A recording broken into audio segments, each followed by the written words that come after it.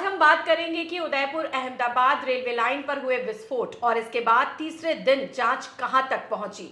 दो एडीजी ने उदयपुर में अपने नोट्स में क्या कुछ लिखा, उस पर भी बात करेंगे। शहर में एक्टिव मोड में हुई पुलिस पर भी बहुत कुछ बताएँगे। साथ ही रेलवे ट्रैक पर महिला और उसकी बच्ची की जान बचने की वजह भी बताएँगे। नमस्कार, मैं हूँ भावना व्यास। आप अपनी खबरें हम तक भेज सकते हैं। Nine four one three eight zero two three two seven phone number पर आप अपनी खबरें भेजें।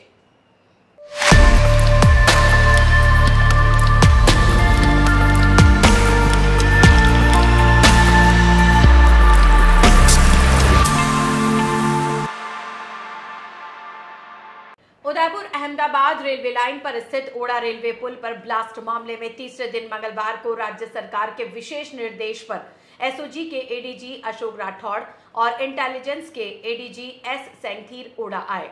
दोनों ने करीब दो घंटे से ज़्यादा समय एक एक जगह से सबूतों को करीब से देखा।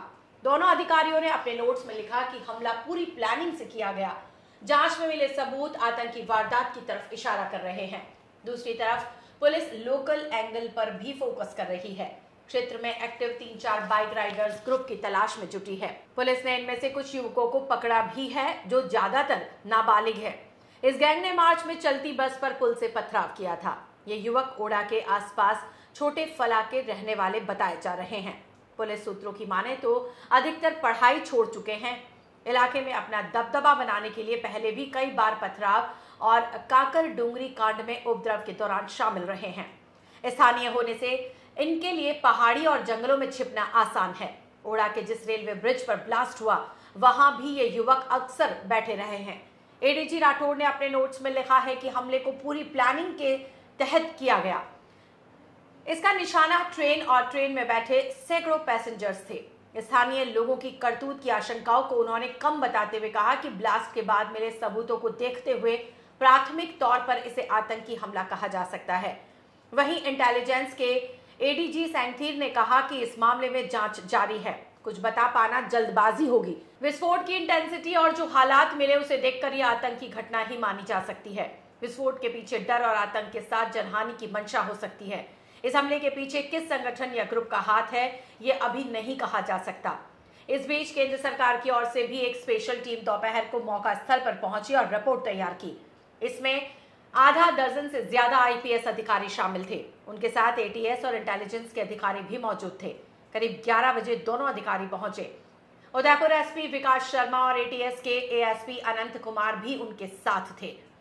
राठौड़ ने बारीकी से एक एक चीज़ को समझा। इसके बाद एटीएस की जाँच के बारे में पूछा। इस पर एएसपी अनंत कुमार ने विस्तार से अब तक मिले सबूत और विस्तार से की गई जाँच के बारे में बताया। केस वर्कआउट करेंगे। इन्वेस्टिगेशन के क्या क्या आयाम हो सकते हैं उन पर भी स्पॉट पे विचार विमर्श किया है। अभी कुछ प्रश्न हमारे बकाया हैं तो उन प्रश्नों पे आपस में जब सामूहिक चर्चा करेंगे ब्रेन करेंगे तो उसके बाद स्थिति और स्पष्ट होगी। लेकिन ये विश्वास है कि ये केस वर्कआउट सर अभी जिस तरीके से जिस तरीके का ब्लास्ट पावर ब्लास्ट था ये क्या इंटेंशन उनकी पूरी यही थी कि वो ट्रेन को टारगेट कर रहे थे या पैसेंजर्स को टारगेट कर रहे थे ये तो लगभग स्पष्ट है सभी को कि जिस हिसाब से ये एक्टिविटी की गई है तो डिस्ट्रप्शन की एक्टिविटी है सबोटाज की एक्टिविटी है और किसी भी तरह से इसमें कोई मेरे ख्याल से संदेह नहीं होना चाहिए किसी को भी।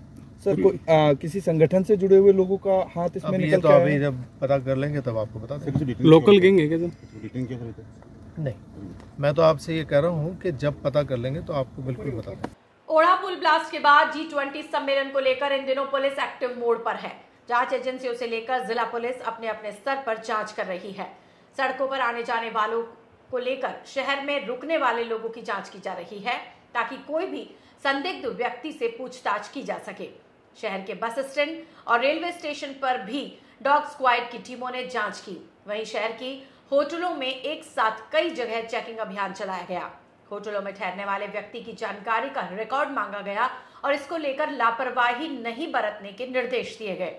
इधर सड़कों पर रात को जाँच बढ़ा दी गई है। आने जाने वाले वाहनों की जाँच की जा रही है और संदिग्ध गतिविधियों पर नज़र रखी जा रही है। दूसरी ओर ब्लास्टिंग मामले में पुलिस और जाँच एजेंसियाँ हर एंगल पर सख्ती के साथ जाँच कर रही हैं। पुलिस ने बाबरमाल क्षेत्र में बंद पड़ी खदानों के बारे में जानकारी ली है। कौन सी माइंस कब से बंद है? कौन कौन वर्कर वहाँ एक्टिव है? बाबरमाल ओड़ा से करीब 20 किलोमीटर है। यहाँ बड़ी संख्या में पत्थरों की खदानें हैं। इसमें ज़्यादातर आसपास के आदिवासी युवक काम करते हैं। उन्हें भी विस्फोट और उसकी फिटिंग के बारे में गहरी समझ है। पुलिस इस एंगल से भी अपनी जाँच कर रही है कि इस ब्लास्ट के पीछे इन्हीं माइनिंग में काम कर चुका युवक तो शामिल नहीं है। शहर के राणा प्रताप नगर स्टेशन पर अपनी बच्ची के साथ एक महिला ट्रेन के इंजन के आगे कूद गई। हालाँकि लोको पायलट की सूझबूझ से बड़ा हादसा टल गया।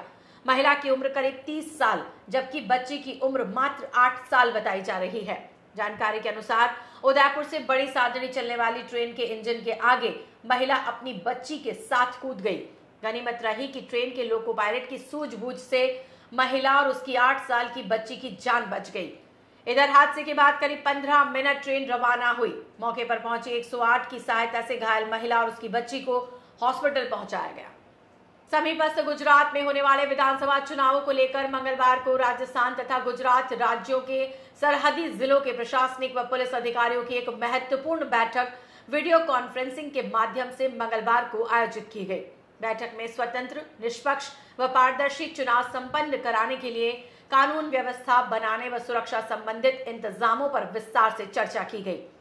राजस्थान व गुजरात के सरहदी जिलों के कलेक्टर, एसपी व अन्य अधिकारियों वीडियो कॉन्फ्रेंसिंग के माध्यम से हुई इस महत्वपूर्ण बैठक में गुजरात के साबरकांठा, अरावली व महिसागर जिलों के कलेक्टर्स व एसपी जुड़े। वहीं राजस्थान से उदयपुर, डूंगरपुर व बांसवाड़ा के अधिकारियों ने महत्वपूर्ण विषयों पर जानकारी देते हुए चर्चा की। महिलाएँ अपने आप को सुंदर एवं चेहरे को खूबसूरत बनाने के लिए नित्य नए प्रोडक्ट्स का उपयोग करती हैं। चेहरे को बिना कोई नुकसान पहुँचाए, सुंदर एवं आकर्षक बनाने के लिए एनआईसीसी ने पाँच वर्ष पूर्व 11 प्रोडक्ट्स लॉन्च किए, जिसके मीरा नगर में एनआईसीसी परिसर में खुले प्रथम स्टोर का आज जयपुर की प्राणिक हीलर एवं व्यवसायी पूजा तनेजा ने उद्घाटन किया। इस अवसर पर एनआईसीसी की निदेशक डॉक्टर स्वीटी छाबड़ा ने बताया कि एक चेहरे की तकनीक जो रंग को बढ़ाने के लिए प्राकृतिक त्वचा के कार्यों को उत्तेजित करती है। तो ये थे आज के समाचार। कल फिर मिलेंगे। तब तक के लिए नमस्कार।